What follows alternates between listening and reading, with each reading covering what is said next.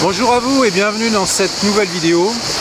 Donc aujourd'hui je voudrais parler de, questions qu'on m'a posées euh, dernièrement. C'est des questions qui reviennent souvent en masterclass, en cours euh, aussi au MAI, par message. Euh. Donc une question que je voudrais aborder aujourd'hui, c'est celle de l'organisation dans le travail. Est-ce qu'il faut un plan de travail pour progresser? Est-ce qu'il faut toujours travailler de nouveaux exercices pour progresser? Qu'est-ce que progresser d'ailleurs? Ça c'est une question qu'on peut se poser aussi. Est-ce que progresser c'est toujours euh, améliorer sa technique, travailler plus d'exercices ou est-ce que c'est autre chose? Donc voilà, moi je voudrais aborder ces questions-là dans cette vidéo, je voudrais en parler avec vous, vous donner mon point de vue qui n'engage que moi, qui n'est pas une vérité absolue. C'est juste ma vérité, c'est déjà pas mal. Et puis échanger avec vous euh, dans les commentaires, savoir comment vous vous organisez. Donc euh, une question là qu'on m'a posée dernièrement, c'est est-ce que tu as un plan de travail quotidien? Est-ce qu'il faut un nombre d'heures minimum pour arriver à un résultat, etc. Combien d'heures il faut travailler par jour pour arriver à jouer telle ou telle chose? Voilà, ça c'est une question qui revient souvent.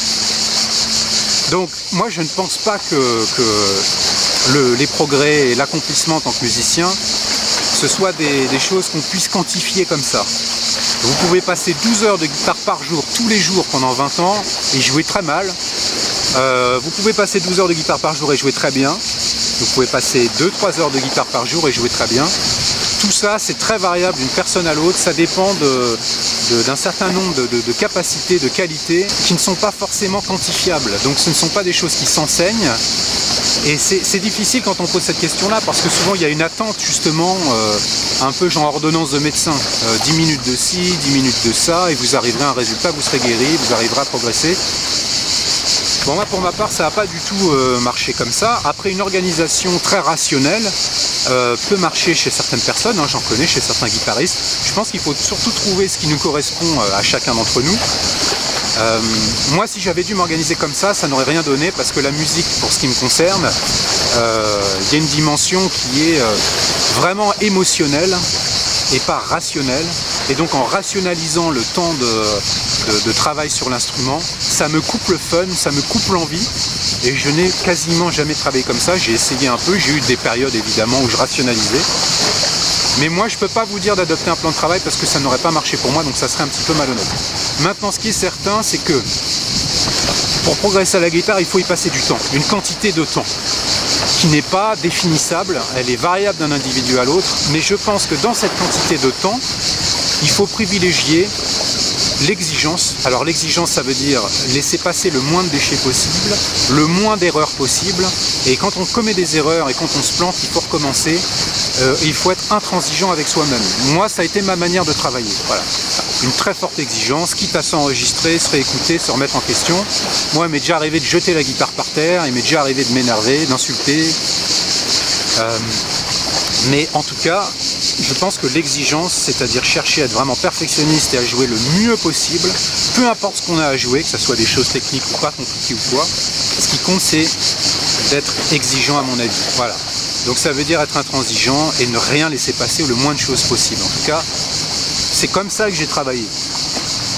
On peut en penser ce qu'on veut. Pour moi, ça a fonctionné dans la mesure où quand je m'écoute, et j'ai toujours cette, cette, cette oreille-là, euh, je ne me fais pas de cadeau. Jamais je vais me réécouter en me disant ouais, c'est génial, euh, t'assures mec t'es trop fort, tu joues trop bien. Euh. je suis jamais dans l'autosatisfaction. Déjà il est très rare que je me regarde en vidéo une fois que j'ai fini quelque chose. Mais même si je publie des choses, je vais regarder toujours avec un œil et une oreille critique. Je pense que c'est comme ça quand même qu'on progresse. Donc être intransigeant, il vaut mieux travailler deux heures par jour et être intransigeant que de travailler 12 heures par jour et tout laisser passer, euh, faire des bennes faux en permanence, euh, avoir aucune conscience de l'intonation, de la justesse, de ce qu'on raconte, euh, voilà. La deuxième chose pour moi c'est la concentration. La concentration n'a pas une capacité infinie de concentration et à notre époque c'est plus, de plus en plus difficile d'être concentré. Moi j'ai commencé la guitare à une époque préhistorique, c'est-à-dire avant internet et quand je jouais de la guitare, même jeune, j'étais jamais interrompu. Aujourd'hui, euh, on a les smartphones, on a Facebook, on a les SMS, on a les notifications et en gros, il y a plein d'études qui montrent que euh, des études qui ont été menées chez des écoliers, mais qui depuis une cinquantaine d'années environ, la capacité de concentration diminue d'année en année. Alors, moi j'adore les réseaux sociaux, c'est génial, euh, je trouve que c'est un moyen fantastique, mais c'est également un danger quand je suis au studio et que je travaille, puisque c'est là où je travaille quotidiennement, quand je suis en cours avec les élèves au MAI, par exemple, quand on fait 7 heures de, technique pure d'affilée, moi il n'y a pas de smartphone, il n'y a pas de Facebook et il n'y a pas d'interruption. Et si on vient m'interrompre euh, au studio par exemple pendant une session de travail, je suis juste insupportable, je suis exécrable. Parce que je pense que la concentration, il n'y a pas de, de progrès s'il n'y a pas d'effort soutenu sur une période de durée assez longue. Une période de durée assez longue, ça peut être trois quarts d'heure, mais ça peut être trois heures. Ça, encore une fois, c'est difficile à quantifier.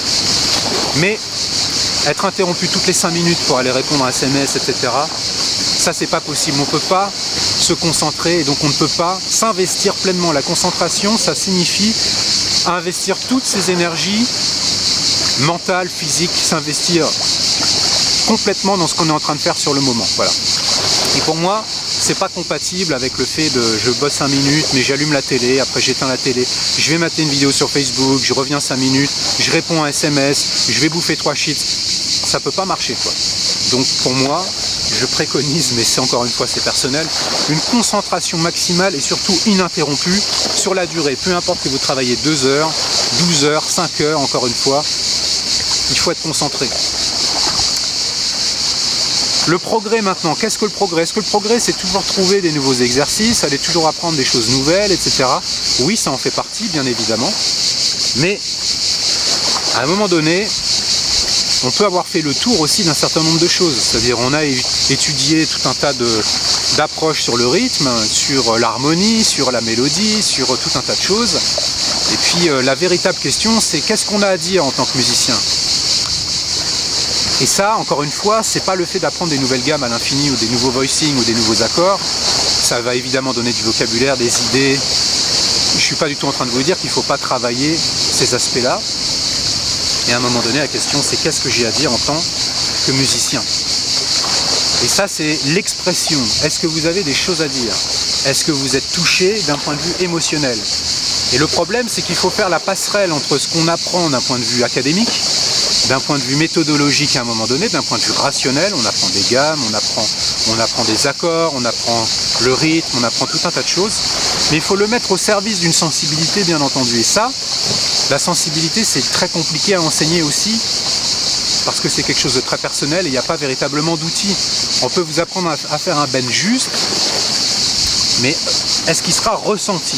Voilà. C'est pour ça que j'ai tendance moi à me méfier quand même à un moment donné d'une approche purement académique. C'est ce que j'enseigne aussi, euh, c'est ce que je dis aussi à mes élèves en cours, même au, MAI qui est une école de musique, mais c'est là où c'est intéressant, c'est qu'une approche académique à un moment donné est limitée.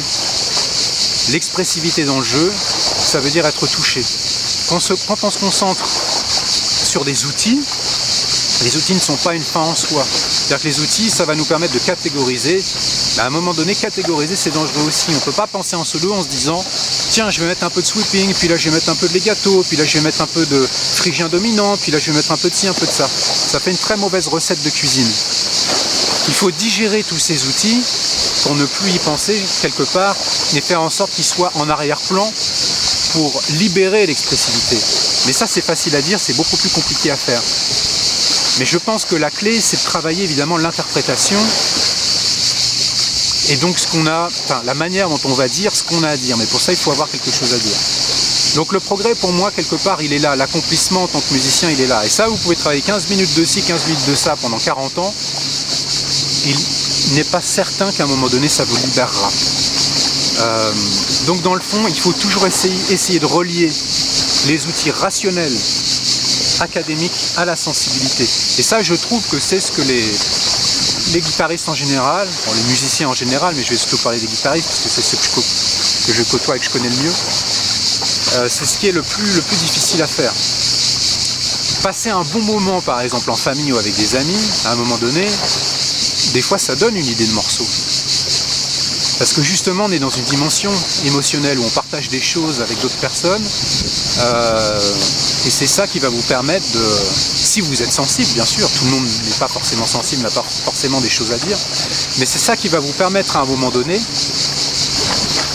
de faire de la musique. Et c'est là où vous allez chercher, dans les outils que vous, avez travaillés, vous allez chercher ce qui va vous aider pour mettre en forme Mais les outils seuls ne se suffisent pas à eux-mêmes. Vous pouvez travailler des exercices à l'infini, c'est pas ça qui fera de vous un musicien euh, libre.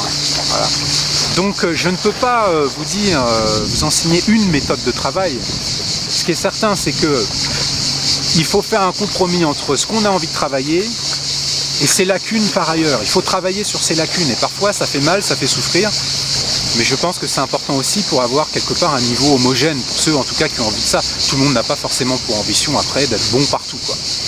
Mais je pense qu'il faut quand même toujours retrouver la notion de plaisir quelque part, qui n'est pas du tout incompatible avec le travail. Mais 15 minutes de ci, 15 minutes de ça, ça peut marcher, mais ça peut ne pas marcher. Tout dépend de votre implication, encore une fois, de vos envies, de vos aspirations profondes. Et là, on est face à des questions qui sont plus, plutôt existentielles. Hein, c'est-à-dire, euh, qu'est-ce que j'ai à dire Qu'est-ce qui me touche dans cette vie? Qu'est-ce que j'ai à dire? Et est-ce que la musique, à un moment donné, peut me peut être un moyen pour moi de m'exprimer, si tant est que j'ai besoin de m'exprimer? Voilà. Donc, euh, est-ce qu'il euh, faut suivre ce que je vous dis? Pas forcément. Il faut l'adapter surtout à votre manière d'être et aller chercher le bon. Vous pouvez traverser des périodes, des périodes où vous allez travailler de manière très organisée et d'autres moments où ça va être tout l'inverse. Vous allez travailler à l'envie. Et c'est une espèce de remise en question et d'équilibre à trouver en permanence. En tout cas, il n'y a pas de méthode unique. Et méfiez-vous de ce qui est routinier. Faire toujours la même chose tous les jours, à un moment donné, on a quand même tendance à tourner en rond. J'espère que euh, cette vidéo fera réfléchir certains d'entre vous. N'hésitez pas à, commenter, à mettre un petit pouce bleu si vous avez aimé, à partager, à critiquer si vous n'êtes pas d'accord. En tout cas, euh, la discussion est ouverte. Euh, je vous souhaite de passer un super été et puis de faire plein de musique. Je vous dis à très bientôt.